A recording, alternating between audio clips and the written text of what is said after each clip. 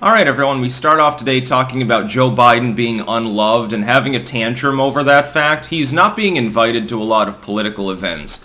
I can't imagine why. Uh, basically, it's limited to a handful of candidates at the federal and state level who are heavily favored to win. And I think they just want to have like the photo op with the dude who happens to be the steward at the time because they're not worried about him showing up saying something crazy and them losing support because they were on the stage at the same time.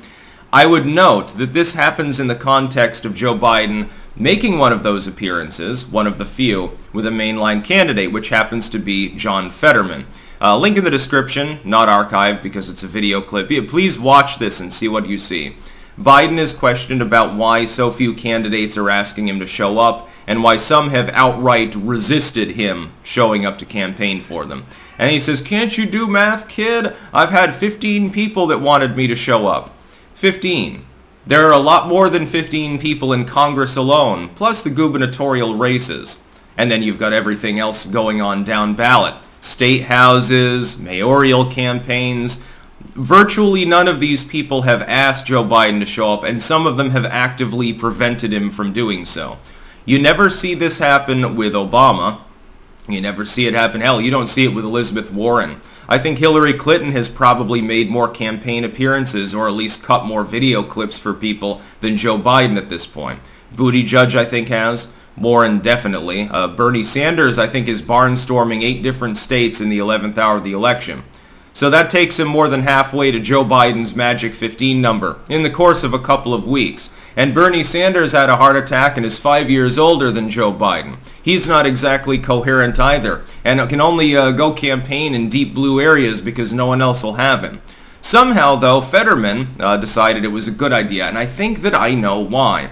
And it has to do with why people don't want Joe to show up in the first place generally for their campaigns. They're worried about him doing this, having a tantrum, saying something goofy, saying something clearly wrong, going viral for making a mistake, for sniffing a kid or doing something weird, something loopy, something elderly related, something Alzheimer's related. What does John Fetterman have that no other current candidate in a mainline campaign has that nullifies the worry about such a situation happening and in fact turns it into a positive? He had a stroke. He has brain damage. The hope is that he recovers from that. Maybe he'll convert uh, out of the Democratic Party if he does. John Fetterman doesn't have to worry about Joe Biden saying something zany because he's the one in that, uh, that candidacy that's known for saying zany things. He stutters, he has a halting manner to him, again, because of his verbal issues. He needs a prompter in order to understand what's being told to him at times, and he says weird shit. He mixes up his words. He constantly says that he wants to be elected to New Jersey. He's in Pennsylvania running for the Senate at the moment. But he can cover with that if he trots Biden out on stage and Biden fucks up if he does something crazy like like he did. I guess Fetterman was right to do this. Then it takes the heat off him for a couple of days. The biggest concern in Fetterman's race is his uh, acuity, his mental capabilities. It's not any other issue. It's the fact that he has brain damage. The polls have been narrowing consistently. The latest poll, for the first time, Mehmet Oz is tied with Fetterman.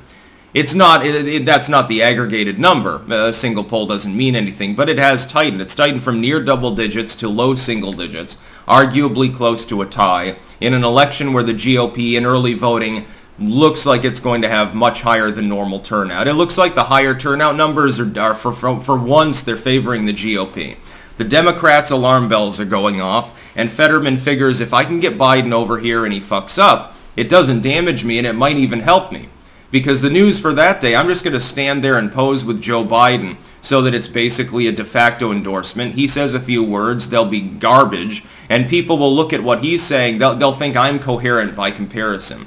I think that that strategy might work. If Fetterman manages to inch out uh, Mehmet Oz, then Fetterman will definitely owe Joe Biden for having dementia that is worse than uh, John Fetterman's own mental issues. Uh, again, though, take a look at this. Joe Biden has the tendency when he's challenged at all to have a tantrum. He gets angry. Uh, he gets angry because I think inside he realizes that he's not really competent at what he's doing. He realizes he's being used as a puppet by other people. He's not really the president, he's the steward. He, he's the, the puppet. They're the puppet master. I think inside it hurts his ego, and he chuffs at this. And so he gets very angry when he's reminded of this fact, and it doesn't happen very often. I mean, he has a tantrum every time that he's questioned too harshly. Generally, his handlers, the security, and the wagon-circled legacy media so-called journos that don't ask him hard questions, they report on his latest ice cream flavor, or how, how beautiful his uh, old man shit smelled that morning. Well, it smelled like peaches and cream, you wouldn't believe it. It's almost like Kim Jong-un levels of propaganda at certain points at this point. Um, it's very difficult for anyone truly independent to penetrate that echo chamber in order to ask him a meaningful question. This would be considered meaningful. Can you imagine if Donald Trump's in office and only 15 people wanted him on stage? How big a, a goddamn story that would be? We get stories about uh, the random Republican, the random neocon, snubbing Trump and not wanting him to campaign for them. It's put up on front page on CNN and the New York Times.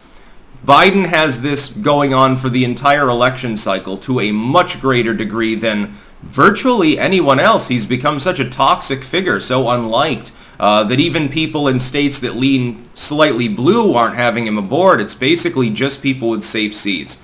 They want the shine of posing with the president. And uh, they, they don't take their daughters to that event uh, normally. You'll notice that as well. They don't want to tempt Joe. Um, he, he keeps having tantrums, though, whenever he is asked a question about this.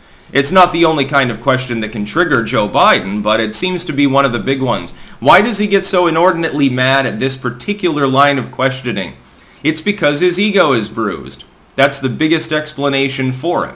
I think that he's got just enough mental awareness to understand vaguely what's going on, understands that's also the perception of foreign dignitaries, military leaders, and the general public by and large. They don't recognize him as even being in charge, which is true.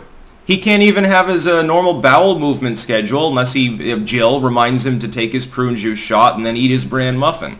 Probably a daily occurrence. Maybe they have to give him a fucking enema to get that shit out because of an uh, elderly digestion system. I can't imagine he's eating too many T-bones. Ice cream is, is recommended for people with Alzheimer's. It gives them a little bit of comfort and joy in life, I suppose.